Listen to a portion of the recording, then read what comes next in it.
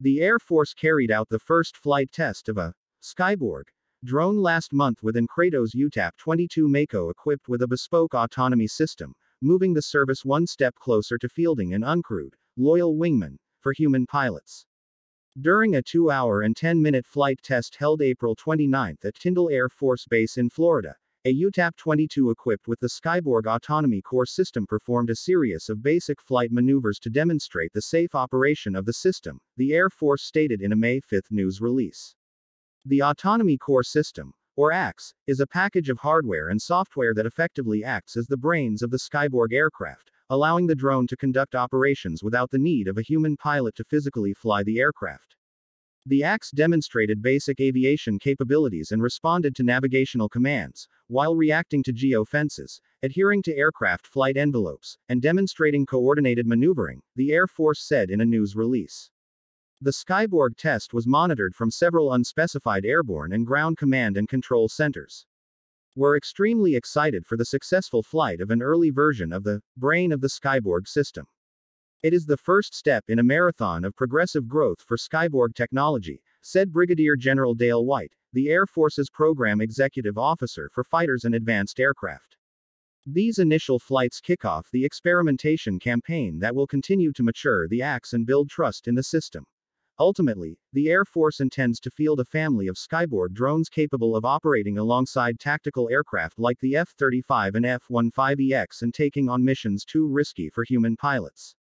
Steve Fendley, president of Kratos Unmanned Systems Division, said the event illustrated the potential for attritable drones, the term given to unmanned aircraft that, while reusable, are cheap enough that losses can be tolerated during combat.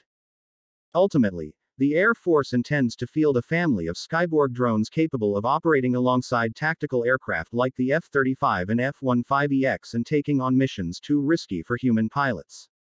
Steve Fendley, president of Kratos Unmanned Systems Division, said the event illustrated the potential for attritable drones, the term given to unmanned aircraft that, while reusable, are cheap enough that losses can be tolerated during combat. Kratos is one of three aircraft manufacturers chosen by the Air Force to deliver Skyborg prototype drones that will be configured with the Axe for tests this year. The company received a $37.7 million contract in December 2020. The service also awarded contracts to Boeing and General Atomics worth $25.7 million and $14.3 million, respectively.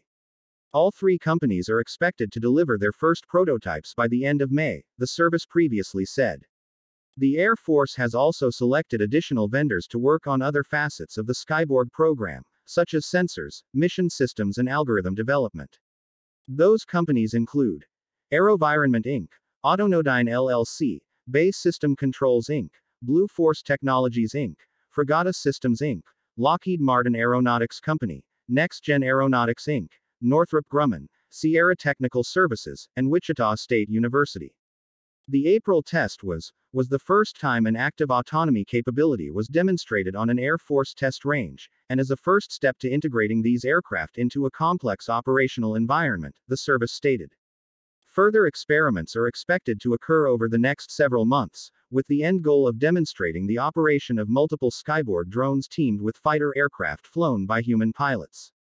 The Advanced Aircraft Program Office manages the Skyborg development effort alongside the Air Force Research Laboratory.